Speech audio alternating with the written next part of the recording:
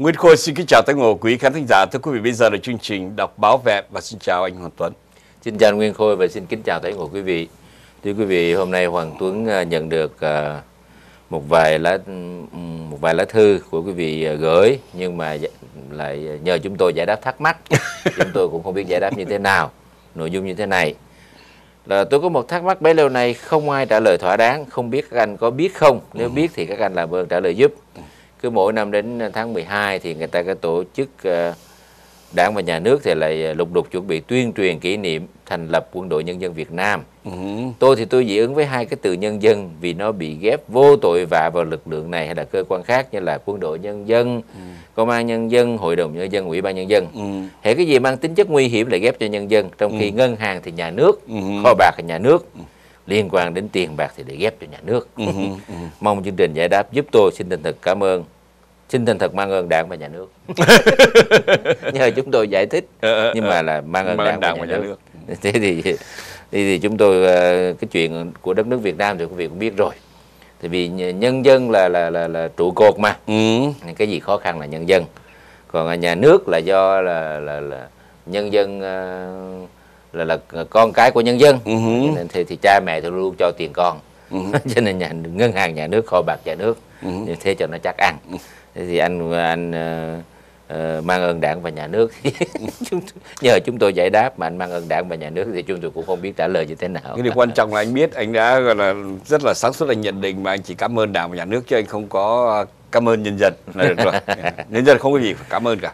Rồi một uh, một cái thắc mắc thứ hai. Ừ. là trong làng cháu đó thì công an đến cưỡng chế thu hồi đất ruộng thì mấy người dân ở trong làng đó bây giờ chỉ bằng cách là mình phải mang ảnh bác hồ ra ừ. thì có bác hồ có lẽ chúng nó không dám làm gì rồi. nhưng mà cứ mang ảnh bác hồ ra thì cũng vẫn thất vọng như thường ừ, sao vậy vẫn bị cưỡng chế không thương xót thậm chí còn bị đánh đập rất là dã man ừ. cho nên mang theo ảnh bác cũng không làm gì được mà ừ. còn bị ăn đòn còn thương tích đầy mình nữa thì cháu muốn hỏi là có phải bây giờ quan chức chính quyền công an bố láo quá không ừ. còn chút tôn kính không có một chút tôn kính nào với bác nữa. Ừ. hay là bác hồ chết rồi mà không có thiên cho nên là là là là cháu thấy ông bà dạy rằng khi sống sống ăn ở hiền lành phúc đức thì khi chết sẽ được sẽ rất thiên ừ. mong các chú trả lời giúp cháu. Cháu rất cảm ơn. Lại hỏi các chú. Hồn của bác hồ bây giờ. Hồn của bác hồ vậy cũng mày nó mang hình mình ra chứ bây giờ mà nó mang mình ra nó cùng quýnh chết luôn vào cả thứ thích đầy mình luôn. Bác hồ có sống lại bây giờ mà ra ngoài đó nó cũng, cũng quýnh. thua luôn. Rồi còn có người hỏi như thế này Chắc coi đọc bảo vệ mà số 401 có nghe chú Nguyên Khôi nói quan chức dùng tiền nhà nước mà dùng cho riêng tư theo cháu nghĩ đã có rất nhiều người lầm lẫn. Ừ. Đối với xã hội tư bản dùng tiền nhà nước thì đúng, còn ừ. đối với cộng các nước cộng sản trên thế giới thì nó là phải dùng tiền của dân để ừ. cho thấy nó thích hợp hơn. Cho chúc hai chú luôn mạnh khỏe, đọc bảo vệ cho tới ngày cộng sản Việt Nam nó đứt hơi. và có một ý kiến đóng góp thì cũng xin cảm ơn là nhưng mà rõ ràng lúc nãy cái vị ờ, khán thính giả lúc nãy đã nói rõ ràng là kho, kho bạc là kho bạc nhà nước mà kho bạc nhà nước. rồi hôm trước chúng ta có nói về hai cái chữ hóa vàng đó ừ. thì anh này cho biết là người miền Bắc dùng chữ hóa vàng để chỉ công việc đốt giấy tiền vàng bạc và các đồ mã cúng cho người chết hay là trong ngày cúng dỗ ừ. tóm lại hai chữ đốt được thay bằng tóm lại thì chữ đốt thay bằng chữ hóa vàng xin góp ý với hai anh chứ không phải tiền tỷ hóa thành vàng đâu. Thì, thì chúng tôi cũng ờ, hôm cảm trước ơn chúng tôi cũng chúng tôi cảm ơn uh, ý kiến này và hôm trước chúng tôi nói tiền tỷ hóa thành vàng thì chúng tôi nói đùa thôi. Rồi có một ừ, cháu cũng thắc mắc về về cái vụ bắc hồ nữa. À. sao mà đội tuyển Việt Nam đi thi đấu ở đâu thì cũng có cũng có khán giả trương hình ủng hộ lên để mà cổ vũ. Cháu thấy ngứa mắt quá. Các nước cộng sản thì các nước mà không cộng sản thì người ta đâu có làm như vậy. Ừ. thì, thì cháu cũng biết là đối với uh, cộng sản Việt Nam thì cái gì người ta cũng đem ông Hồ Chí Minh ra để làm cái bình phong ừ. ngay cả bây giờ khi mà xã hội nó đảo điên tham nhũng hối lộ rồi tệ nạn xã hội thì người ta cũng không có biết cách gỡ như thế nào ừ. thì báo chí nhất là báo ở Hà Nội thì cứ luôn là học theo tư tưởng của bác Hồ tư tưởng Hồ Chí Minh uh, như thế này thế khác để mà làm cái phao thôi ừ. uh, để làm một cái mặt nạ để mà mà mà mà đỡ xấu cho chế độ cho nên ừ. cháu cũng phải thương cho ông Hồ nhé rồi cảm ơn anh Nguyên Khôi ừ. à, xin mời Nguyên Khôi cảm ơn cháu dạ vâng và bây giờ chúng tôi có một cái bài báo của báo uh, báo Dân Trí thưa quý vị báo Dân Trí đăng cái bài có tên là ông Nghiên lên tiếng vụ không trả biệt thự sống đàng hoàng chả phải nói với ai. Ông Hoàng Văn Nghiên, cựu chủ tịch Ủy ban nhân dân thành phố Hà Nội cho biết nguyện vọng của mình đã nói từ 10 năm nay. Ừ. Còn nay thì chả có gì để nói và sống đàng hoàng thì chả phải nói gì với ai cả. Ừ. Khi mà phóng viên của nhà báo đến phỏng vấn ông về cái vụ mà nhà ông thuê ông mướn của nhà nước. Ừ. mà bây giờ hết hạn rồi mà nhà nước thì đòi lại thì ông trả trước đây ông đòi mua nhà À. nước không có bán. Ủy ban nhân à, Hà Nội người ta không có bán. Ông về hưu rồi ông đòi mua không bán. Mà ông thuê thuê tiếp mà hết hợp đồng lâu rồi. Mà bây giờ thì nhà nước đòi ủy ban nhân đòi mà ông vẫn chưa chịu trả. Không không không, phóng không viên đến hỏi. ra à, và- thì phóng viên đến hỏi tại sao không dọn ra thì ông trả lời là chả có gì phải nói để nói vì ông sống đàng hoàng ông sống đàng hoàng vâng thưa quý vị như thế này Thì- thì- Ở sau đó thì có những cái bài báo mà đã đăng trước đây thì những cái link có cái link như thế này. Biệt thự 400 mét vuông giá thuê 500 ngàn đồng một tháng. Thưa quý vị, ngày hôm qua chúng tôi nhớ là mình đọc tin hàng ngày ở trên radio, trên đài phát thanh quê hương đó. Thì có một cái bản tin như thế này, người ta nói cái giá nhà, tiền thuê nhà ở cái vùng mà chúng tôi đang ở đây, Silicon Valley rất là cao. Nè, trung bình đó, cái giá nhà trung bình là 2.400 Mỹ Kim cho một tháng. Những căn nhà trung bình thôi, Nhà thường chứ không phải là nhà cao cấp gì đâu thưa quý vị Không là phải trung bình nha. không phải biệt thự đâu 2.400 đồng một tháng thì đọc xong bản tin đó hôm nay mình đọc cái bản tin này của ờ, báo chí trong nước mình mới biết là cái tủ thư bản nó ác nó bóc lột nhân dân một cách lột Ừ. tận cùng xương tủy thưa quý vị một căn nhà bình thường mà 2.400 đồng một tháng tiền thuê trong khi đó một cái biệt thự 400 mét vuông biệt thự có nghĩa là nhà cổng tường cao kín rồi có cổng đàng hoàng sang trọng đó. sang trọng đó. Mà giữa thủ đô Hà Nội một trong những nơi mà giá nhà đất là cao nhất thế giới. Ừ. thế mà dân chỉ thuê chả có 500 ngàn đồng một tháng. 500 ngàn đồng theo như chúng tôi đoán là nó chỉ khoảng 25 Mỹ Kim một tháng. Dạ, chúng quy ra tiền của Mỹ 25 Mỹ Kim thôi. Nhà ở San Jose là chúng tôi ở đó là trung bình là 2.400 đồng một tháng tiền thuê mà nhà nhỏ mà trong khi biệt thự lớn đùng như vậy mà thưa quý vị chỉ có 25 đồng một tháng thì có phải là sống ở Việt Nam sướng hơn sống ở Mỹ nhiều anh anh Hoàng cho nên ông không? ông mới bảo là sống đàng hoàng Ờ. không biết gì phải nói Ờ. cái cái cái, cái biệt thự như vậy mà một tháng có 25 đô la thì sống quá đàng hoàng. Chỉ có những người mà bị mất nhà mất cửa người ta sống lang thang ở vườn hoa rồi người ta đi ra vườn hoa mai xuân thưởng người ta khiếu nại thì người ta mới không sống không đàng hoàng. Chứ còn ông ông ở trong một cái biệt thự ngay giữa thủ đô Hà Nội à, biệt thự lớn như vậy ông trả tháng có 25 đô la thì ông sống quá đàng hoàng.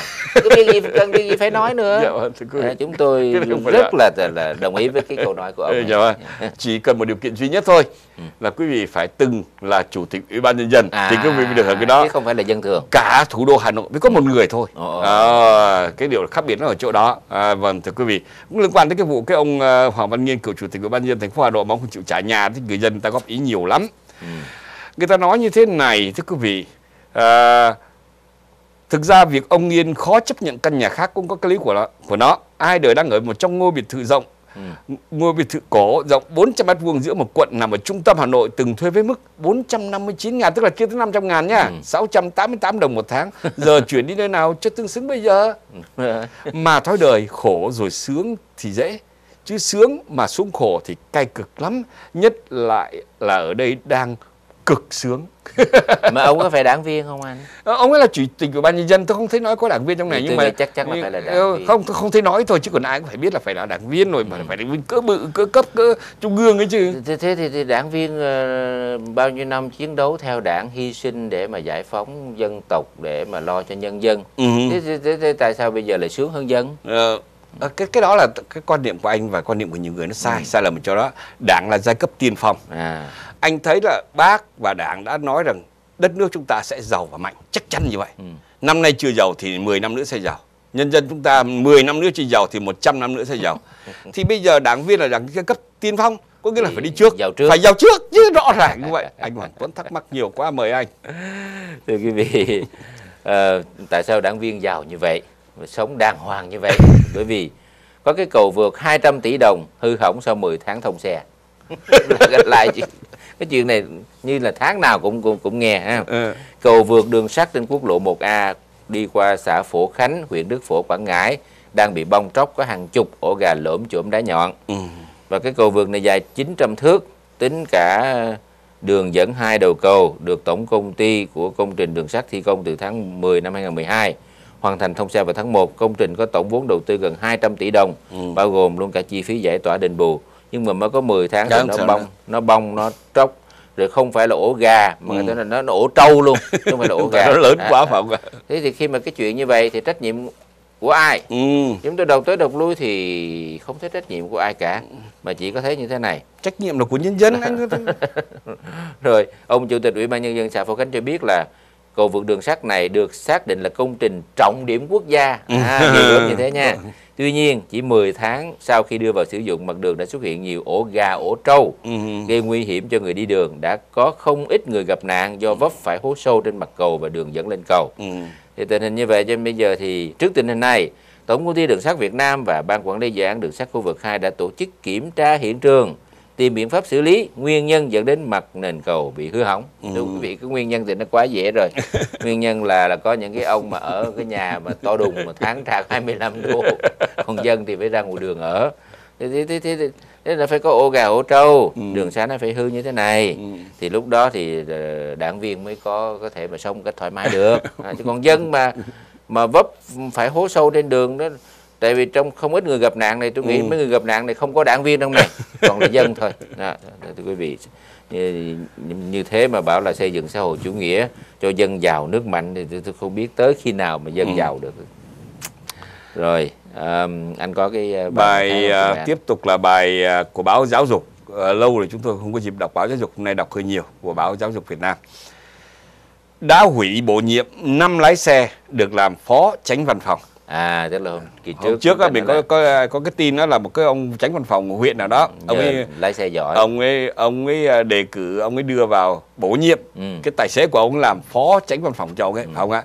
Mình tưởng cái trường hợp đó anh hỏi tôi lúc đó anh nói cái chuyện đó mọi người tưởng là cái chuyện đó chỉ là chuyện cá biệt thôi. Một hay hai người thôi. Không chuyện này hàng loạt. Năm ông. Năm ông cơ quan chức năng tỉnh Thanh Hóa vừa xử lý hàng loạt lái xe được bổ nhiệm sai quy định giữ chức vụ phó tránh văn phòng huyện ủy hay là ủy ban nhân dân các huyện. Kinh hoàng không? Nhưng mà tôi, xin đổi anh cũng hay là như thế này. Ừ, gốc là tài xế yeah. thì ông phó lái cho ông trưởng đi là chắc ăn. Chắc ăn. à, có việc gì mà nói với nhau nó dễ. Mà cái đấy cũng công bằng mà nói mà thực tâm mà nói đó khi hai người làm việc với nhau phải hợp ý nhau. Ừ. phải biết cái ý của nhau phải đoán được ý của nhau và làm việc như vậy nó mới có hiệu quả phải không ạ? Chẳng hạn như là ông tránh văn phòng ông ấy cần gì? Ai có cần nói chuyện với ông ấy? Ừ. cần đưa đường chỉ lối thì phải có cái người thân tín người có thể tin tưởng được và bảo đảm là những cái bí mật mà trong cái công việc à, của xã hay của huyện như vậy đó không ai biết được kẻ thù nó không biết được. Cái người thân cận nhất thưa quý vị là ông tài xế. Ừ. cho nên là thưa quý vị nếu mà ông tài xế có làm phó tránh văn phòng cho ông tránh văn phòng thì quý vị cũng đừng ngạc nhiên chúng tôi hoàn vừa, toàn vừa lái xe vừa họp. Đúng rồi vừa lái xe vừa họp. Và chẳng hạn như cần đi uống thì xin lỗi quý vị nếu mà ông tránh văn phòng cần đi ờ, như Hoàng Tuấn hay nói đi chỗ này chỗ kia đó những cái chỗ mà nó ngoài đi giờ làm việc hay trong giờ làm việc cái, rồi. cái chỗ chân dài chân ngắn như chẳng hạn như vậy. nóng nực mình đi ờ, tươi mát tí. Thì thì là có tài xế đưa đi. Đấy. thì là hợp ý nhau quá mà làm việc phải không ạ? Quá hay. Cần ai mà nếu mà ai có cần mà đưa tiền hay đưa quà hay là ừm, giới thiệu này kia đấy, thì ông phó ông ấy làm cái công việc nó nó gọn nhẹ và nó nó, nó trực tiếp. Khỏi phải tốn công mất thì giờ. Cho nên chúng tôi hoàn toàn phổ ờ, phản đối cái tỉnh Thanh Hóa này. Tự nhiên là xử lý hàng loạt đã hủy bổ nhiệm năm lái xe được làm phó tránh văn phòng này. Làm và, việc và cái biết việc làm- mà tiện và lợi đó thì bây giờ đảng và nhà nước đặc biệt là đảng viên người ta rất là hay. Ừ. chúng tôi có từ bài báo trên báo kiến thức là ở ờ, phường Tân phường Tân Phú ha Ờ, những người dân sống trên đường Nam Cao phường Tân Phú quận 9 thành phố Hồ Chí Minh ờ, phàn nàn họ bị tra tấn bởi tiếng nhạc sập sình tiếng reo hò chúc tụng vô 100% của một tiệc đám cưới đang diễn ra tại trụ sở ủy ban nhân dân phường. Tức là tức là là đám cưới của một cán bộ trong phường. Đám cưới con cái đó Ừ, ừ. thì thay vì tổ chức nhà hàng À thì ha. lấy cái trụ sở ủy ban nhân dân phường trong ngày chủ nhật là làm âm ỉ. Ừ. thì cái việc mà nếu mà dùng trụ sở ủy ban nhân dân phường để tổ chức như vậy để tiết kiệm thì nó cũng hay. Ừ. thay vì trả tiền cho nhà hàng thì mình dùng cái số tiền đó mình đóng góp. Xung vào công quỹ. Xung vào công quỹ cũng Ừ. được. Nhưng mà người dân thắc mắc như thế này liệu người dân ừ. mà có ừ, tổ chức đám cưới cho con cái đó Ừ. không có điều kiện thuê nhà hàng Ừ. thì không biết đãi tiệc ở trụ sở phường có được không? À, người dân thắc mắc là chỗ đó. Nhưng mà chúng em thấy ý kiến hay không? Rất rất là hay rất là tiết kiệm. Nhưng mà cứ ta lấy cái trụ sở phường ta làm quách cho nó gọn. Nhân dân của anh Hoàng Tuấn thắc mắc nhiều quá. Chúng tôi sẽ trở lại với quý vị cùng với những thắc mắc khác sau một số quảng cáo thương mại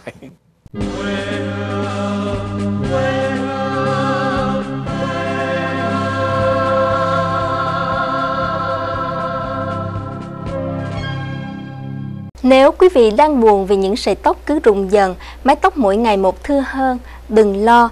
Mỹ Thanh xin giới thiệu cùng quý vị Hair Serum 21 ngày kỳ diệu, sản phẩm chính gốc đại hàng, hiệu quả với 99% những người đã sử dụng. Sau 21 ngày sử dụng liên tục đúng cách, quý vị sẽ thấy đầu hết gầu, tóc hết khô, cứng, chẻ ngọn mà khỏe hơn, mái tóc của quý vị sẽ dày hơn và tràn đầy sức sống. Cái răng, cái tóc là gốc con người. Một mái tóc đẹp mượt mà sẽ làm quý vị tự tin yêu đời hơn. Hair Serum 21 ngày kỳ diệu, chính gốc đại hàng sẽ đem lại cho quý vị niềm tin yêu đó. Muốn có Hair Serum 21 ngày kỳ diệu, xin ghé đài quê hương 1630 Auckland Road, Suite A109, San Jose. Muốn order Hair Serum 21 ngày kỳ diệu gửi về tận nhà, xin gọi cho đài quê hương 408 645 5575 hoặc 408 645 5580. Quý vị đã từng suýt xoa khen ngợi sắc đẹp làn da của các ngôi sao điện ảnh Hàn Quốc. Bảo Ngọc xin giới thiệu bộ kem tổng hợp bảo đảm chính gốc Hàn Quốc 100%, không mạo hóa, rất được các nữ tài tử xinh đẹp Hàn Quốc ưa thích. Correct Combo Cream, tức CC Cream, vừa là kem dưỡng da, vừa dùng để trang điểm.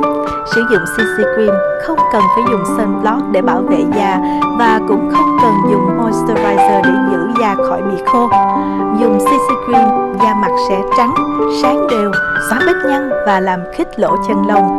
Bộ kem tổng hợp CC Cream gồm một hũ kem hoa và một chai Activator giá 45 Mỹ Kim. Mua hai bộ chỉ có 80 Mỹ Kim. CC Cream được phân phối từ một công ty Hàn Quốc. Muốn có, xin gọi đài quê hương 408 645 5575 hoặc 408 645 5580. Chúng tôi sẽ order cho quý vị. CC Cream là kem dưỡng da và trang điểm 100% Hàn Quốc.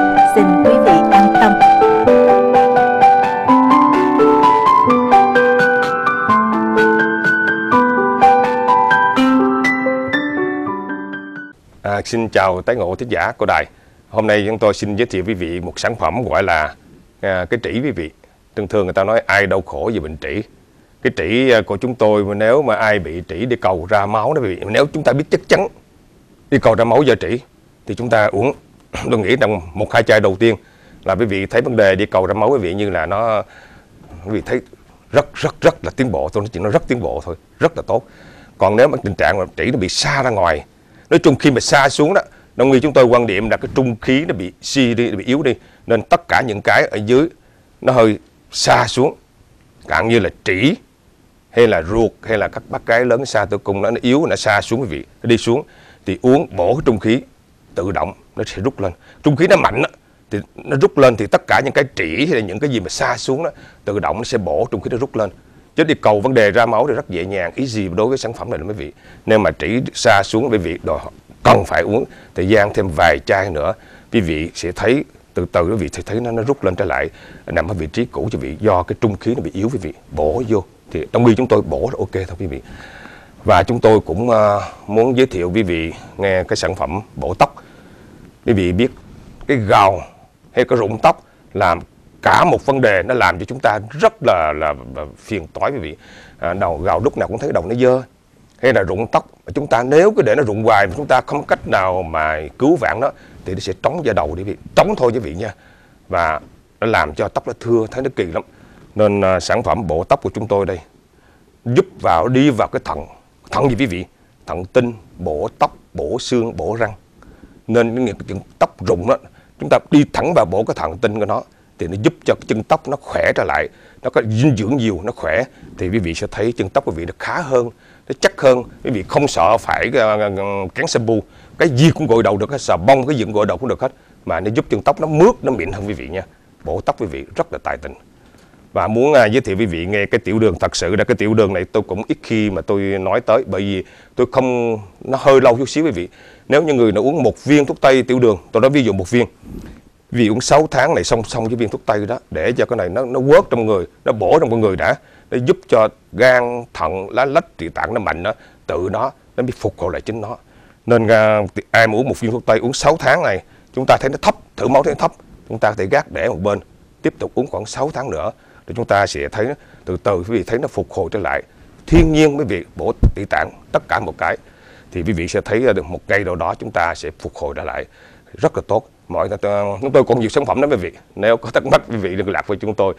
1888 811 1133 1888 811 1133 xin kính chào quý vị. Quý vị đã từng xích xoa khen ngợi sắc đẹp làn da của các ngôi sao điện ảnh Hàn Quốc. Mỹ Thanh xin giới thiệu đến quý vị bộ kem tổng hợp bảo đảm chính gốc Hàn Quốc 100%, không mạo hóa, rất được các nữ tài tử xinh đẹp Hàn Quốc ưa thích. Correct Combo Cream, tức CC Cream, vừa là kem dưỡng da, vừa dùng để trang điểm. Sử dụng CC Cream không cần phải dùng sunblock để bảo vệ da và cũng không cần dùng moisturizer để giữ cho da khỏi bị khô. Dùng CC Cream, da mặt của quý vị sẽ trắng, sáng đều, xóa vết nhăn và làm khít lộ chân lông. Bộ kem tổng hợp CC Cream gồm một hũ kem thoa và một chai Activator giá 45 đô la. Mua hai bộ chỉ có 80 đô la. CC Cream được phân phối từ một công ty Hàn Quốc. Muốn có CC Cream, xin mời quý vị gọi vào đài quê hương 408 645 5575 hoặc 408 645 5580. Chúng tôi sẽ order cho quý vị. CC Cream là kem dưỡng da và trang điểm 100% Hàn Quốc. Xin quý vị yên tâm.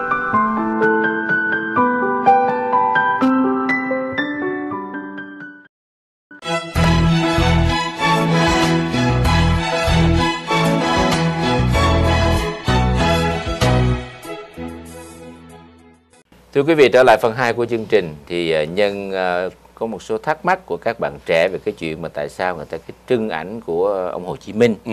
đi xem đá banh cũng trưng ảnh ra rồi là là là là khi mà bị cưỡng chế đất đai cũng đem hình của bác Hồ ra Ừ.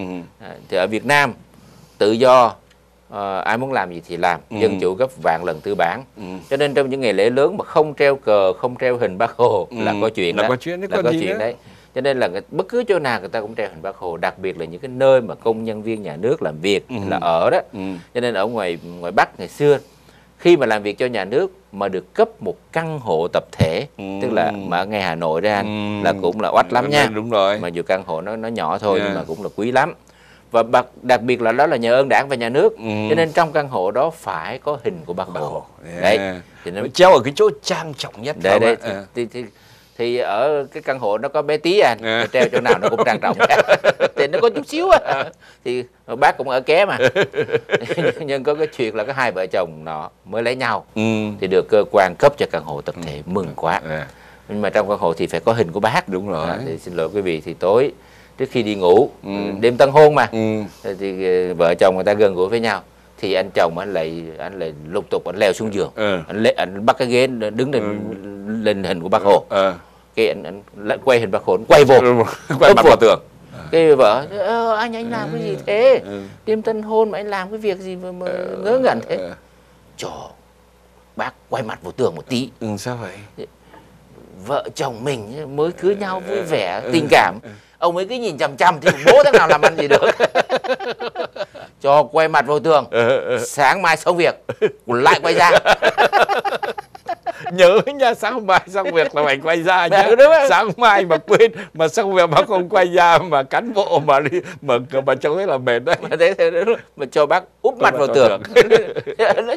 vợ chồng mình mới cưới nhau tình tứ thế. Mà ông cứ nhìn chằm chằm thì bố thằng nào làm ăn gì được Ờ, cũng gần cuối năm ở tháng 12 thì quý vị cho nên là báo chí trong nước người ta có tổng kết một số những cái sự kiện gọi là nổi cộm đáng chú ý trong năm thì báo trở lại báo điện tử giáo dục Việt Nam họ có à, đưa đăng cái bài là ba đề xuất gây bão của đại biểu Quốc hội dưới góc nhìn luật sư ừ.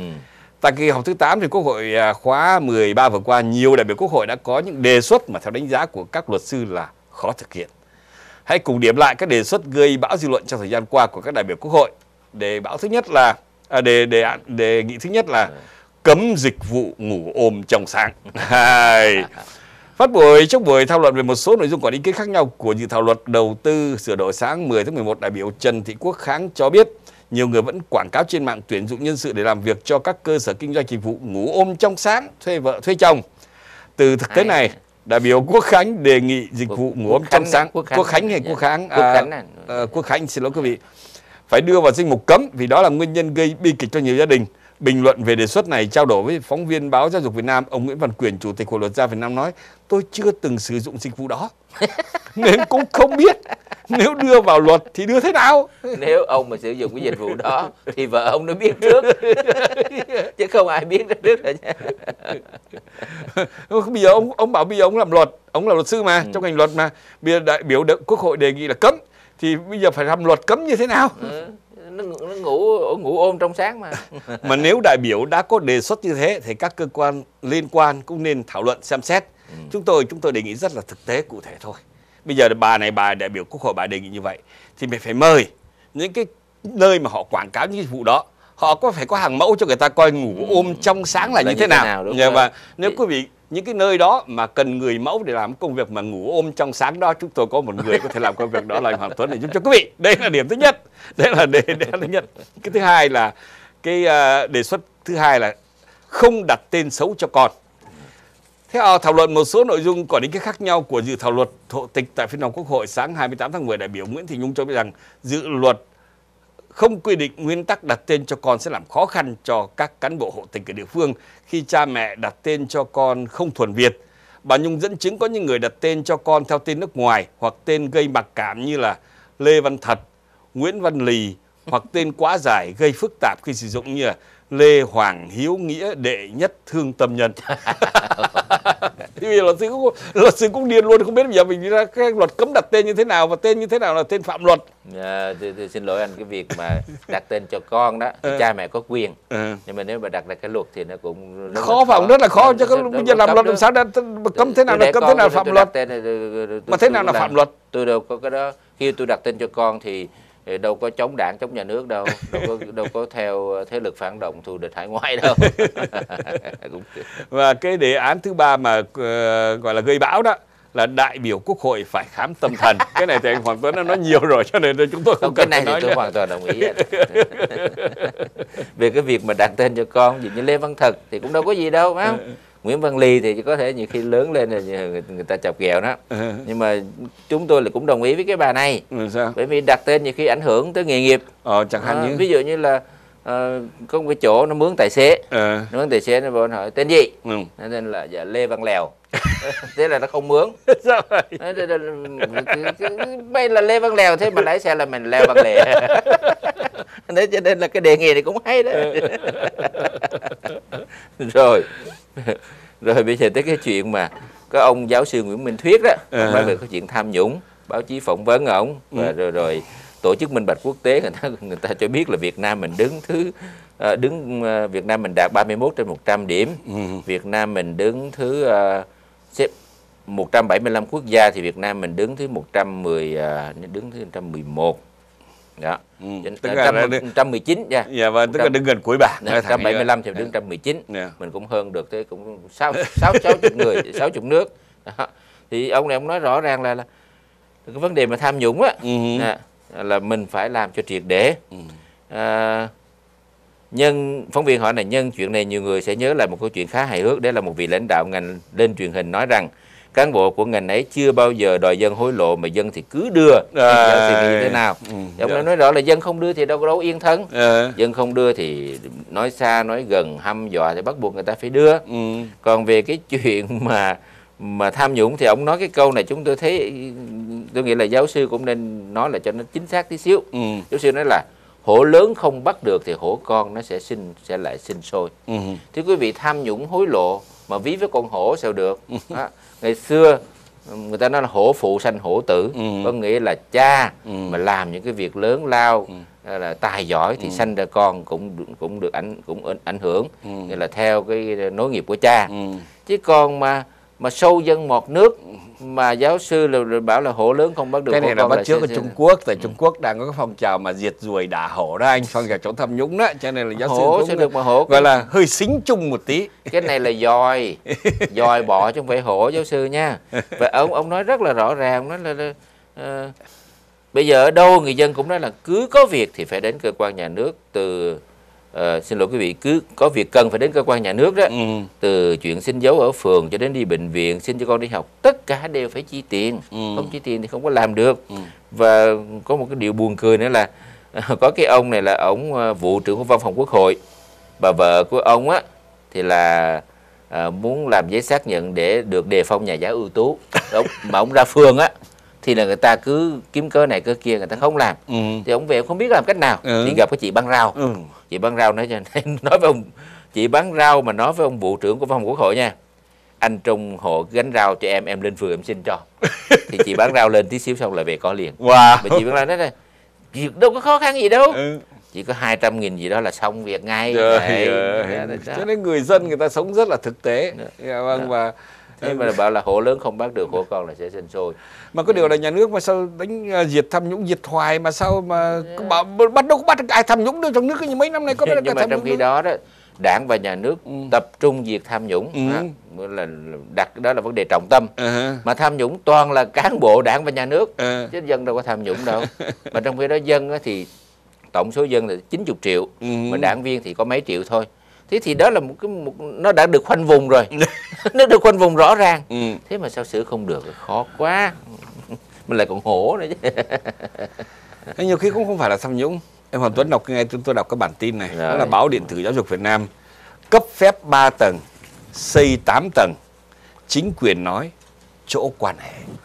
Ủa, là cái chỗ đó để quan hệ chứ không phải tức là tại vì có quan hệ đó À. quen biết đó À. Đấy, cái đó là không phải là tham nhũng cái đó là không nếu phải không làm thế thì anh em nó tâm tư Đấy, thế giờ Việt Nam này có nhiều điều rất là hay đại khái là như vậy thưa quý vị không cần đọc nếu nhiều không làm thế thì Dạ. là thì dân nhân dân tư. ở cái vùng đó người ta rất là bức xúc ở ngay à, công trình xây dựng tại số 1B Tô Tịch phường Hàng Gai Ừ. quận Hoàn Kiếm ở ngay Hà Nội nhá cũng là Hà Nội Dạ vâng, do ông Phan Trung Trực và vợ là Nguyễn Thị Phượng làm chủ đầu tư. Ông được giấy phép cấp 3 tầng, ông xây trả ra 8 tầng. à, Ờ. là bởi vì Nhưng mà nhân dân thắc mắc nhưng tại vì xây cái đó rất là nguy hiểm đúng anh. rồi Chứ- có ba mà tới tám là tới năm tầng Dạ vâng. đâu có đúng theo cái quy Ờ. cách đâu nên hỏi chính quyền. Ừ. Chính quyền bảo quan hệ. À. Ừ. Anh có Nhưng muốn mà- làm ăn gì anh cần phải phải- quan hệ nhá. phải học theo đại tướng hay là không làm thế thì anh em nó tâm tư Rồi. Rất là hay Tâm tư của anh tiếp tục đi. có cái bài báo báo điện tử giáo dục Việt Nam nói về cái vấn đề mà, mà giáo dục Việt Nam á có Ờ. câu rất là hay Ừ. dạy cho có học cho xong rồi ra trường toàn là gà công nghiệp tôi đọc một bài báo mà tôi cũng lắc đầu luôn Đấy là báo giáo dục đó hả báo giáo dục đó Trời Thì ta nói ơi, là cái chữ. cái- tức là người ta bỏ chữ gà Ờ, công nghiệp ở ờ, trong trong ok. ngoặc kép Ừ. thì chúng tôi chúng tôi cũng không có phải là là chê cái cái cái cái cái, ờ, tựa đề bài báo nhưng mà khi người ta nói lên một cái thực trạng đau lòng Ừ. là người ta xem học học trò người ta cứ về thành tích đó người ta thi đua thành tích thế này thế khác rồi người ta ép học trò nó học mà cuối cùng ra nó thì- trả bài thôi. thì nó không Nghĩa ra gì cứ cả. bắt thuộc bài rồi Dạ. trả bài, bắt thuộc bài rồi trả bài đây. người ta có một cái hình đó là không có gì nguy hiểm hơn một bác sĩ tôi còn mang mặt nạ nhân nghĩa thì ta nói về cái cái giáo dục xã hội chủ nghĩa nó đào tạo những con người như vậy Ừ. dạy cho có học cho xong Ừ. rồi ra trường toàn là gà công nghiệp thưa quý vị gà công nghiệp thì quý vị cũng biết rồi tức là nó nuôi hàng loạt à, rồi, rồi, nó, nó, nó cho ăn thực phẩm. Là đứng nó chen chúc nhau. Thì nó không có ngon bằng gà đi bộ. Cho nên là tội nghiệp về vấn đề giáo dục người ta phải ví von như vậy. Nó rất rất rất rất là đau lòng. À, nhưng về cái chuyện giáo dục đó thì à, anh biết là cái người cộng sản người ta sống với cái khẩu hiệu. Ừ. à, thì có mấy người cũng thuộc bộ đội mà già rồi mà. Nó ngồi mới nói chuyện là bây giờ thời buổi bây giờ không phải như thời của chúng mình Ừ. chúng mình ngày xưa là cứ là tư tưởng Hồ Chí Minh Ừ. chủ nghĩa Mác Lê bách chiến bách thắng muôn năm rồi là một mình vì mọi người mọi người vì mình Ừ. tụi bọn trẻ bây giờ nó không có sống như vậy nó Ừ. không có như mình ngày xưa Những khẩu hiệu đó Dạ. người ta cất vào kho hết rồi. Nhưng mà ông kêu nói, sự không? nữa. ông kêu nói nhưng mà có một điều đó Ừ. bây giờ cán bộ đảng viên phát huy rất là mạnh Ừ. đó là tinh thần làm chủ tập thể Ờ. ông kia mấy ông kia nói bác nói làm sao chứ làm sao có cái chuyện đó? Ông nói có chứ. Của nó mang về nhà riêng đó mà đâu có tập thể đâu. Đó, đó, nếu mà theo định nghĩa của từ điển Việt Nam của ông Vũ Chất đó Dạ. làm chủ tập thể là gì? Tức là mình là chủ của tập thể. Mình là chủ của tập thể thì cái gì của tập thể là của mình. Đấy. Để anh thấy chưa? Ừ. cho nên là bây giờ cán bộ đảng viên phát huy cao độ tinh thần làm chủ tập thể. Cái gì của tập thể là mình cứ mang về mình xài. Đấy. Cho nên là ngay cả cái nhà thành phố đòi lại Ờ. đó. nhưng mà hết hợp đồng rồi Ờ. mà chúng tôi sống đàng hoàng thoải mái Đúng không rồi. có gì phải đó là cả. phát huy cao độ tinh thần làm chủ tập thể. Ừ. à, vẫn sống thoải mái. Mình làm chủ tập thể mà. 25 đô một tháng một cái biệt thự to đùng. Chiêm ngưỡng căn nhà hoành tráng của bí thư huyện ủy nông cống thì ông này ông ông Dạ. bí thư huyện ông ấy xây cái nhà rất là lớn cho nên à, đồng bào à, chung quanh người ta cũng thắc mắc. Những chiêm người ngưỡng xin- thì vâng. Ờ, việc căn biệt thự hoành tráng vừa đi vào sử dụng khiến nhiều người dân hết sức tò mò, đồng thời nảy sinh nhiều nghi vấn. Với mức lương công chức có hạn, không biết ông chính lấy tiền ở đâu mà xây được ngôi nhà to thế. Dân chúng tôi có nằm mơ cũng không dám nghĩ mình sẽ xây căn nhà to và hoành tráng như thế. đấy phát huy tinh thần làm chủ tập thể tiền của nhà nước nó thành của mình thế thì có cái nhà to đùng nhưng mà thắc mắc làm gì tổng thanh tra nhà nước mà còn có nhà to đùng không Được biết nông cống cơ bản vẫn là một huyện thuần nông, tức là dân làm nông thôi. Nghèo của tỉnh Thanh Hóa đến nay thu nhập của người dân dù đã được cải thiện hơn trước nhưng riêng một nhưng một bộ phận người dân đời sống ở đây vẫn còn gặp nhiều khó khăn. Việc cán bộ chơi trội vào những công trình xây dựng hoành tráng phần nào đó tạo nên dư luận không mấy tích cực. thưa quý vị à, rất tiếc là chúng tôi không đủ thì giờ nên công việc của đất nước nó là như vậy nhưng mà để kết thúc chương trình thì chúng tôi có rất nhanh có bài báo cũng là báo điện tử giáo dục Việt Nam Thủ tướng Nguyễn Tấn Dũng Việt Nam quyết tâm tái cơ cấu nền kinh tế à, Ừm. rồi à, trong 2015 đó thì tập trung huy động và sử dụng hiệu quả cao nhất các nguồn lực cải cách mạnh thủ tục hành chính cải thiện tốt hơn môi trường kinh doanh để tạo mọi điều kiện thuận lợi cho người dân và doanh nghiệp phát triển. Cái này năm ngoái ông Dũng ông có nói rồi mà sao nó nói lại à? Năm nào là- cũng có nhiều đó. đây mùa thu gió hát bài ca của năm nào cũng có nhiều đó thưa quý vị. rồi là tập trung là chống tham nhũng là tất cả các thứ. Ông- bài này năm ngoái ông có đó rồi. Hay là ông ông lấy đưa ông lấy lộn cái bài diễn văn năm ngoái. Một là vậy hai là phải cái này là ông Dũng phải phải. coi lại coi cái người soạn diễn văn cho ông có thể nó lười. Cái nó này lại là- copy nguyên cái bài năm ngoái đó bỏ năm này cho ông đọc lập trường quan điểm vững vàng năm nào cũng như năm nấy. Xin cảm ơn sự theo dõi của quý vị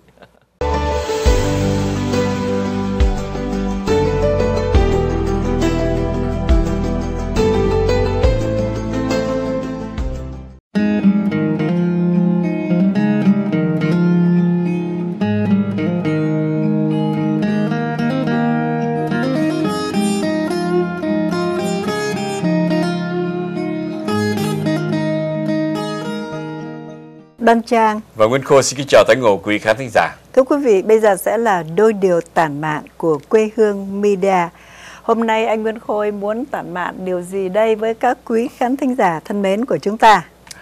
vâng à, thưa quý vị nói đến chuyện tản mạn tức là mình không có nói thẳng vào một cái chủ đề nào cả phải không? Không có một chủ đề nhất định nào. mà mình có thể nói à, từ chuyện này sang chuyện khác Lan man. lan man thì thưa quý vị như thế này Nguyễn Khôi là người phụ trách à, tiết mục thời sự trong tuần trên đài quê hương Dạ. rồi Nguyễn Khôi cũng là người đọc tin trên à, radio mỗi ngày phần tin tức mỗi ngày Vâng. Và cũng là người làm chương trình đọc báo vẹn. với anh Hoàng Tuấn cho nên đầu óc của mình lúc nào nó cũng là tin tức tin tức thời sự lúc nào những nó cũng là những cái chuyện chính trị lúc nào nó cũng là những cái chuyện bắn giết nhau lúc nào nó cũng là những cái chuyện thường thường nó không có vui Sao mà nặng nề vậy anh? tại vì đó là tin tức mà chúng ta nghe hàng ngày thì cô đơn chào của thưa quý vị chẳng hạn như à, trong tuần này ở trong nước Mỹ này đó Dạ. thì cái chuyện mà cái vụ Trong thời gian gần ở- đây đó. dạ vâng. Dạ. ở Ferguson đó. Rồi sau đó thì à, đại bồi thẩm đoàn quyết định là không truy tố cái ông cảnh sát người da trắng. Darren Wilson ra tòa cũng là một cái biến cố lớn gây xáo trộn và làm cho nước Mỹ này phải à, xôn xao phải lo lắng nhiều sau đó thì có một cái tin vui mà chúng tôi vẫn nghĩ rằng là cái tin vui này nó có dài nhiều tuần lễ rồi nhưng mà nếu mà nó cứ kéo dài như vậy Anh muốn nói về giá xăng giảm Dạ, hả? xăng Ồ, giảm. cái đó tôi vui lắm. Tôi không biết có ai vui không nhưng mà thưa quý vị tôi vui lắm. tại vì mỗi một tuần lễ mà chúng ta đổ xăng một lần mà mình tự nhiên mình thấy tuần này mình dư được hai chục đồng Mừng quá. ba chục đồng thì mình mừng lắm không thưa quý vị nhất là trong cái mùa lễ này phải không cho tôi ngắt lời anh chút xíu. Đối với anh và đối với tôi và đối với mọi người đó là một cái tin vui đúng. Nhưng mà riêng cá nhân tôi á, tôi không biết anh có chia sẻ với tôi một cái tin vui khác của tiểu bang Cali chúng ta. Hử. tôi đố anh á tôi định nói về cái gì? Dạ vâng, đó là tại vì à, thời tiết nó gọi là có mưa thuận gió hòa. Wow, Vâng. đúng là như vậy. Ừ. Trước đây đó thì ờ, cũng qua tiết mục đôi điều tản mạn, tôi có chia sẻ với các quý khán thính giả của mình ở xa đó, những người không phải ở Bắc Cali là chúng tôi đang buồn lắm là vì cái tình trạng hạn hán ở tiểu bang Cali. Nhưng mà không biết làm sao trời thương chắc nhiều người cũng kêu cứu quá, ông trời ông thương. Liên tục mấy tuần nay thưa quý vị, trời nhỏ mưa xuống cho tiểu bang Cali chúng tôi. Không sợ cái nạn cháy rừng nè và đất đai ờ, những cái chỗ trồng trọt không bị nứt nẻ nữa. Hử. rồi ờ, sông lạch hồ đều có nước hồi trước nhìn nản lắm anh khôi có nói trong một ờ, lần nói chuyện mọi người là anh có đến thâu hình cho, cho đài đó Yeah. cho một cái lần nào anh đi đến mấy cái farm mấy Yeah. cái nông trại vào Yeah. nhìn sơ xác đó phải không Dạ, sơ họ sát đóng cửa điều. họ không làm đóng việc cửa được tại vì ờ, họ họ họ vẽ những cái bảng rất là lớn no water không no có job. nước không có nước không có việc làm. Dạ tức vâng. là no water là không có nước no job là không có việc làm. Rất là tội thưa quý vị. Thành ra chắc chúng tôi những cư dân của tiểu bang Cali phải đưa một lời cảm tạ lên bề trên đã giúp chúng tôi mấy tuần liên tục có mưa. Và có mưa là giải quyết được bao nhiêu cái khó khăn của tiểu bang Cali. Xin chia sẻ với các quý đồng hương Việt Nam ở các nơi về cái tình trạng này thưa quý vị. Lúc mà mình còn ở quê nhà đó mưa đó thì thường thường mình không ít khi nào năm nào mình lo là không có đủ mưa cả. Hầu Ừ, như vậy ừ, phải không ạ? ừ. mình chỉ sợ là mưa nhiều quá ngập Thành lụt lũ lụt, dạ vâng. vâng. Nhưng bây giờ sang đất Mỹ và đặc biệt là đang ở tiểu bang California này mỗi lần mà thấy mưa là thấy mừng. Mừng quá. Mừng quá. Thưa quý vị rồi đó là những chuyện vui. Cũng có những chuyện buồn mà chúng tôi đọc tin tức mỗi ngày mà nhiều khi mình đọc mà mình thấy mình phải nhận là mình rất là may mắn khi mình sống trên đất Mỹ này. Những cái cảnh chiến tranh đang xảy ra tại các quốc gia vùng Trung Đông, tổ chức ISIS, khủng bố, Hồi giáo vân vân. Rồi những cái cảnh mà chiến tranh xảy ra tại Ukraine, rồi những những cái tin tức không có mấy tốt đẹp về kinh tế của Nga hiện nay đang muốn suy sụp. Một đảng thì bị ảnh hưởng bởi à, vấn đề cấm vận, vấn đề trừng phạt của Hoa Kỳ và các quốc gia à, Âu Châu. Dạ vâng. Rồi sau đó thì giá dầu nó giảm như thế này đó thì cái lợi Vâng. tức của quốc gia GDP nó sẽ bị giảm rất là nhiều. Vâng. Cái đồng tiền rúp nó bị Dạ. mất giá nữa. Dạ thì những cái vâng. tin tức đó Nhưng mà cho thưa anh, anh cũng biết là lý do từ đâu ở ai mà ra rồi phải không? Về cái sự gọi là cứng đầu của ông Putin đó. Yeah. Dạ. Vâng, thì ông Putin, nhiều người nói ông Putin là cái nguyên nhân tạo ra cái tình trạng ngày hôm nay. Tôi mà- nghĩ là như vậy. Dạ vâng. Dạ vâng. À, đất nước Nga đang gặp những cái khốn Khó khó về kinh tế. Đồng Dạ. tiền của họ bị xuống giá kinh khủng, Dạ. mất giá. Dạ vâng. Rồi khi mà chúng tôi đọc những cái tin tức à, liên quan tới Việt Nam tại vì mình phải chuẩn bị những tin tức đó cho tiết mục báo vàng và đôi khi những cái tin Việt Nam mỗi ngày mà mình cũng phổ biến trên đài quê hương và đài truyền quê hương á thì mình thấy có những cái tin không vui về cái nạn tham nhũng rồi bè phái rồi chạy trọt rồi bằng giả rồi những cái chuyện mà mà mình nghĩ rằng ngày xưa một đất nước của mình rất là đẹp đẽ như vậy và bây giờ dưới sự cai trị của của Đảng Cộng sản Việt Nam nó có những cái chuyện mà không thể nào ngờ nó có thể xảy ra được trong gia đình thì cha mẹ con cái nhiều khi giết lẫn nhau Đấu vì- đá nhau. đấu Dạ. đá Chỉ mà giết tiền. nhau nha, chỉ Dạ. vì những cái tiền cái lợi nhuận đó anh chị em trong gia đình như vậy còn bằng cấp trong nước thì giả từ trên xuống dưới không biết bây giờ chắc nhiều khi kiếm cái bằng thật còn khó hơn kiếm cái bằng giả nữa ở Việt Nam Ừ.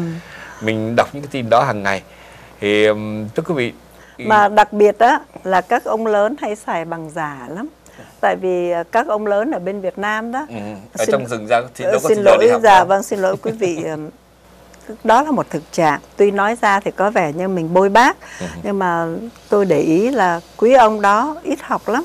Nhưng mà bây giờ mà để cho mọi người biết tình trạng ít học của mình á thì làm Ừ. sao mình trị dân được Ừ. nhá? Làm sao mình có cái kiến thức có cái cái sự hiểu biết để mà mình ờ, trị quốc được. Thành ra mình phải mua bằng giả cách dễ nhất phải không ạ? Vâng và đặc biệt là những cán bộ càng về sau này người ta khám phá cán bộ xây nhà lớn nhiều quá. Ồ, Người tiền dân ở đâu mắc, vậy? tiền ở đâu vậy? Tại vì cái lương của cán bộ trên nguyên tắc á chỉ Ừ. vừa đủ sống cho gia đình nó đủ sống mà thôi. Tôi sợ là không đủ sống dạ vâng. Nếu vật giá đắt đỏ dạ vâng. Ừm, thế mà à, bố xây nhà lớn con xây nhà Và lớn. những cái dinh cơ tôi có nhìn hình ảnh đó. Yeah. mình phải dùng cái chữ dinh cơ nó mới Ừ, đúng. ừ. rất là lớn rất là đẹp những cái tòa biệt thự thưa quý vị À, chúng ta vẫn còn nhớ là trước đây khi mà tổng thống Bill Clinton mãn nhiệm đó Ừ. thì hai ông bà dọn ra ngoài. Và mình ờ, thì đầu tiên họ đi thuê nhà họ ở Tân Trang. Rồi sau đó họ mới mua một căn nhà cho riêng họ. Ừ. đúng rồi. Dạ vâng. Cái chuyện đó đối với xứ Mỹ nó là bình thường. Bình thường lắm, dạ vâng. Ừ. cái chuyện mà mình à, làm công chức mình làm tổng thống mình giữ một chức vụ đó hết nhiệm kỳ thì mình trả lại cái dinh thự đó cho cái người à, kế nhiệm mình. Đúng rồi. Còn đây có những ông lớn ở Việt Nam nhà trên nguyên tắc là nhà được nhà nước cấp cho cái chức vụ đó. Nhưng mà khi ông ấy ông ấy hết làm nữa ông không trả lại nhà. Ông trả ông mới giữ làm miên viễn xót xa. Ông thì được giữ làm của miên viễn nhưng mà người dân thì xót xa. Tháng 12 mà mình nói chuyện không vui thì chúng tôi nghĩ rằng nó cũng hơi lạc đề một chút. Thôi vì bây giờ mình quay về trở về tháng 12, tháng 12 là tháng mà ở Hoa Kỳ này gọi là tháng của những ngày lễ hội. mùa. Lễ hội. mùa thưa quý vị ở bên nước Mỹ chúng tôi đó đây là tôi đang nói với các quý khán thính giả ở xa ngoài nước Mỹ đó. Tại vì chúng tôi rất là vui và rất là cảm ơn. Thật là đông đảo quý đồng hương Việt Nam ở các quốc gia khác trên thế giới theo dõi uh, tiết mục đọc báo vẹm. Rồi sau đó thì theo dõi cái tiết mục uh, đôi điều tản mạn do tôi thực hiện với Nguyên Khôi mà chúng tôi bỏ lên trên YouTube đó. Thành ra rất đông các quý đồng hương ở các quốc gia khác biết về đài quê hương nhờ những cái buổi nói chuyện như thế này. Cảm ơn quý vị đã bỏ thời giờ để à, theo dõi chương trình của chúng tôi. Thành ra tôi đang nói là tôi muốn nói với các vị ở ngoài nước Mỹ Ừ. là đối với nước Mỹ mà chúng tôi đang cư ngụ ở đây nè tại nước Mỹ nè thì người ta có nguyên một mùa gọi là mùa lễ hội. Người ta dùng chữ season tức là mùa đó. Cái mùa lễ hội này khởi đi từ lễ tạ ơn tức là Thanksgiving cho đến cuối năm Vâng thưa quý vị, lễ Thanksgiving tức lễ tạ ơn thì đã qua rồi. Và ngay cái ngày mà lễ Thanksgiving bao giờ nó cũng rớt vào cái ngày thứ năm của cuối tháng 11 thì cái ngày thứ sáu là ngày Black Friday tức là ngày thứ sáu đen ai cũng biết cả. Thì ngày đó cả nước Mỹ Đi mua sắm. náo động vâng shopping. Tất cả các khu shopping đều đầy chật người. Anh nói đến cái chuyện shopping tôi muốn chia sẻ với các quý khán thính giả. Ừ. Ờ, cách đây mấy bữa tôi và anh Nguyên Khôi có đi ờ, shopping mà không phải mua đồ dùng cho riêng cá nhân của chúng tôi mà mua đồ đạc cho đài quê hương Ừ. Đã- để ờ, kêu là upgrade đó làm cho ờ, những cái chương trình của đài quê hương với những vật dụng xài trong trong đồ đó Dạ. nhìn nó đẹp hơn nó mới hơn và quý vị tưởng tượng chúng tôi đậu ở trong parking á gần một tiếng đồng hồ để chờ đến phiên mình có thể lách vô được một cái Mà chỗ có đậu chỗ xe xe, vâng. cái anh Nguyễn Khôi bảo thôi để tôi nói trong chương trình đôi điều tản mạn kỳ này là thay vì chúng tôi chúc quý vị khi đi shopping vào những ngày lễ ở Mỹ mua được nhiều Hàng quà, nhiều rẻ. hàng tốt giá rẻ thì thôi chúng tôi chúc quý vị khi đi shopping kiếm được một chỗ đậu xe. cả sớm càng tốt kinh hoàng thưa quý vị có những kinh nghiệm mà mỗi lần mình trải qua mình cứ sợ mình cứ, mình cứ nhớ mình dặn mình mình nhắc mình năm tới đi shopping vào cái ngày Black Friday mặc dù chúng tôi đi shopping không phải vì ngày đó on sale mà tại vì cần những cái đồ dùng trong đài phải đi mua phải mua gấp cho nên cần phải mua cho ngày hôm đó mà thôi nhưng mà tìm chỗ đậu xe trong cái ngày Black Friday thật là kinh hoàng nhưng Kinh mà hoàng. điều đó nó nói lên là người cái sức dân sống, Mỹ này cái sức, sống về kinh tế, đời sống kinh tế của Yeah. người dân Mỹ dạ vâng. người dân Rất người ta mạnh mẽ. Dạ. dĩ nhiên là năm nào mà kinh tế phát đạt người dân có nhiều tiền hơn thì người ta sẽ mua sắm nhiều hơn phải không ạ người Ừ. ta rồi. chọn những mặt hàng giá trị nó cao hơn nhưng mà dù năm nào mà kinh tế có gọi là có thê thảm đi chăng nữa thì cũng đến cái mùa này thì mình cũng vẫn phải đi mua mua sắm mua sắm là tại vì có những món quà mình sẽ phải trao tặng cho người thân của mình trong cái dịp lễ sắp tới là, Là ngày lễ Christmas Noel. Dạ Dạ vâng. vâng. Thì- Giáng sinh đó thưa quý vị. mình có nhiều tiền mình mua nhiều Ừ. mình ít tiền mình mua cái món rẻ hơn nhưng mà phải đi phải mua có những cái món có những món quà bắt buộc mình phải chọn phải mua để tặng cho người thân của mình cho nên khu shopping nào cũng rất là đông người Dạ trong cái vâng. ngày Black Friday đó Mà riêng khu shopping ở Đài Quê Hương á là tôi biết trong những ngày sắp tới cũng rất là đông. Là vì anh biết tại sao không? Đài Quê Hương của mình hiện đang phổ biến một số sản phẩm Dạ. mà nó có cái lợi ích thiết thực, hứ. thiết thực hàng ngày cho người sử dụng. Dạ. Đó, chẳng hạn như quý bà và bây giờ cả quý ông ai cũng cần có làn da đẹp đúng Ừ, không? dạ. Vậy thì đến với Đài Quê Hương chúng tôi hoặc gọi điện thoại cho chúng tôi chúng tôi order về hàng về tận nhà dùng cho quý vị rồi ai cũng muốn có những cái mái tóc đẹp Ừ. thì cũng gọi cho chúng tôi nhá thì chúng tôi cũng sẽ giúp quý vị ở xa thì hàng cũng được gửi về tận nhà còn ở gần đài quê hương thì đến với đài quê hương bởi vì trong thời gian này ở Mỹ gọi là mùa lễ hội mà Ừ. trong mùa lễ hội này quý vị mua bất cứ một sản phẩm nào Ừ. được bán từ đài quê hương quý vị cũng đều có quà tặng. Hấp dẫn chưa? Chân chúng tôi không có on sale bởi vì làm sao mà được quyền on sale Ừ, ừ. công ty họ đâu cho mình on cái sale điều này chúng tôi phải nhấn mạnh cho rõ có hai cái sự khác biệt. Điều thứ nhất đó là khác, khác biệt khi mà quý vị so sánh shopping với đài quê hương với là những khi shopping đi mua sắm ở những cái khu uh, shopping khác. Ừ. điều thứ nhất á là quý vị không lo ngại về chỗ đậu xe tại vì cái bãi đậu xe phía trước của đài quê hương Mênh mông. mênh mông rất là rộng và quý vị hầu như rất hiếm khi mà gặp trở ngại trong vấn đề tìm chỗ đậu xe. Ừ. đừng lo chuyện đó điểm thứ nhất. điểm thứ hai nữa là chúng tôi on sale mỗi ngày. Tức là tại vì cái giá của chúng tôi mỗi ngày mỗi ngày đều là Black Friday chứ không phải chờ đến cái thứ sáu sau ngày lễ Thanksgiving mới là ngày à, Black Friday đâu. Ngày nào cũng vậy tại vì cái giá của chúng tôi rất Quá rẻ. quá rẻ. Dạ. Quý vị cứ thử quý vị không thể tìm ở đâu sản phẩm giống y chang vậy mà họ bán giá giống như đài quê hương. Có nghĩa là đài quê hương on sale 365 ngày. Giờ ngày nào cũng là Black Friday đối với chúng tôi nhưng cả. mà riêng với mùa lễ hội này ngoại trừ vấn đề on sale còn tặng quà nữa. Đúng À, như vậy. hấp dẫn. Và không phải là chỉ mua bao nhiêu thì mới được tặng quà mà chúng tôi thưa quý vị khi mà quý vị đến chúng tôi sẽ được hân hạnh tặng cho quý vị những món quà dù quý vị có mua một cái sản phẩm rất là nhỏ một cái Ừ. sản phẩm mà gọi là cái giá mà hạ nhất là một hũ kem Dr. Cost với giá Cũng có quà 25 tặng. đồng cũng, Cũng có có quà quà tặng tặng, cho quý dạ. vị như thương Tóm lại, quý vị mua hàng nhiều, quý vị được tặng quà nhiều, Ừ. mua hàng ít cũng có một chút quà cho vui. dạ đúng như Rồi. vậy Rồi bây giờ tôi nhắc lại nhé, những sản phẩm mà lúc nãy tôi bảo là tôi nghĩ là có tính cách thiết thực Ừ với những người sử dụng. Ai cũng cần có làn da đẹp thì Ừ. hãy đến Đài Quê Hương có kem uh, Dr. Cos dưỡng da và có kem dùng cho ban ngày CC Cream. Trong thời gian vừa qua thì chúng tôi đã được sự tín nhiệm của người sử dụng rồi. Hứ. Bây giờ chúng tôi nói đây là nói với những người chưa từng sử dụng thôi. Ừ. Còn những người đã sử dụng rồi thì họ cứ hết kem là tự động họ quay lại. Tại vì họ nói là kết quả rất tốt mà giá rất là rẻ. Đúng rồi. như vậy. Rồi, muốn da đẹp thì cũng đến với đài quê hương. Nhất là quý bà đừng quên nữa câu nhất dáng nhì da. Mà bây giờ bởi vì tôi bán kem thành ra tôi đổi lại là nhất da nhì dáng. Đó là với quý bà quý cô. Quý ông bây giờ cũng dùng luôn. Anh Nguyễn Khôi cũng đang dùng Dr. Cos thưa quý vị. và một nhân viên trong đài anh ấy dùng tại vì mặt bị một số cái vết tàn nhang của Ừ. trang thì anh Lớn không có dùng tuổi là đó. Ừ. không có dùng Dr. Cos mà anh dùng kem CC cream tại vì Cũng nó tốt có cái tác hả? dụng là tẩy những cái vết nám vết Ừ. tàn nhang trên da của mình da Hiệu trắng quả đẹp hơn rất tốt. thấy rõ Rõ ràng. dạ, vâng. và anh rất là hãnh diện mỗi khi mà có ai hỏi thăm tại vì đôi Anh khi đưa đó ngay mặt anh. Tại vì đôi khi có những vị ờ, thính giả đến mùa đài đó ngày đài Ừ. đó hỏi hỏi hỏi cũng nhiều khi hơi mắc mơ chứ thế anh có xài chưa vậy nó ngon vậy à, ừ, anh bảo đây nè nhìn tôi đây này mặc dù anh ấy khá lớn tuổi thưa quý vị Dạ vâng. đó là mình nói về làn da Dạ. mái tóc thì lúc nãy tôi có đề cập rồi quý vị muốn có một mái tóc đẹp quý vị cũng đến gặp chúng tôi Ừ. hoặc là gọi vô đài quê hương chúng tôi order hàng về tận nhà cho quý vị rồi quý vị à, muốn có những chiếc giỏ sách tay ờ, trong lễ hội này trong cái mùa tặng quà sắp tới tức là lễ Giáng sinh đó Ừ. quý vị không dùng quý vị muốn mua để tặng cho chị mình cho ờ, cô dì chú bác mình hoặc là cho con gái mình Ừ. những cái giỏ sách tay của Đại Hàn rất là đẹp và giá rất là rẻ Ừ. cũng đến với đài quê hương và dĩ nhiên mua giỏ sách tay cũng có quà tặng và đặc biệt với gối Canuda mời anh Nguyên Khôi Dạ vâng, gối Canada thì à, cái sản phẩm này càng ngày càng có nhiều người thích hơn và có thể nói là nếu mà những vị đồng hương nào có dịp mà so sánh cái giá cả đó thì cái này còn hơn là Black Friday nữa. rẻ quá Dạ quá thưa quý vị là tại vì cùng một cái sản phẩm đó mà nếu mà quý vị mua trên eBay là một trong những nơi bán hàng rẻ nhất, Ừ. ai cũng biết chuyện đó cả.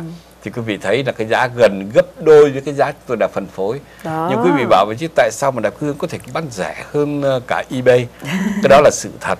Và cái lý do là tại vì cái công ty truyền hình, đài truyền hình mà họ, mà, chúng tôi hợp tác với đó, họ lấy một cái lô hàng rất là lớn cho nên hãng Canuda đã dành cho họ một cái giá ưu Rất tiên là- đặc biệt rẻ là hơn đặc là biệt. những người mua lẻ rồi sau đó bán trên mạng thưa quý vị Dạ cho vâng. Ừ. nên cần gì phải mua trên mạng gọi cho Quê Hương nếu quý vị muốn có một giấc ngủ ngon và ngủ dậy khỏe khoắn nhất là những người bị đau cổ bị nhức đầu bị Ừ. đau lưng đau vai sau khi mà ngủ dậy và những chứng bệnh này kéo dài đã 3 năm 4 năm 5 năm có người đã 10 năm tìm đủ một cách chữa trị mà không hết gối Canada có thể giúp cho quý vị tìm lại được cái sự thoải mái khỏe mạnh thưa quý vị Vâng, lúc nãy anh anh Nguyễn Khôi nói là gọi cho chúng tôi thì Ừ. đây là ba số điện thoại quý vị có thể gọi. Số thứ nhất của đài là 408 645 5575.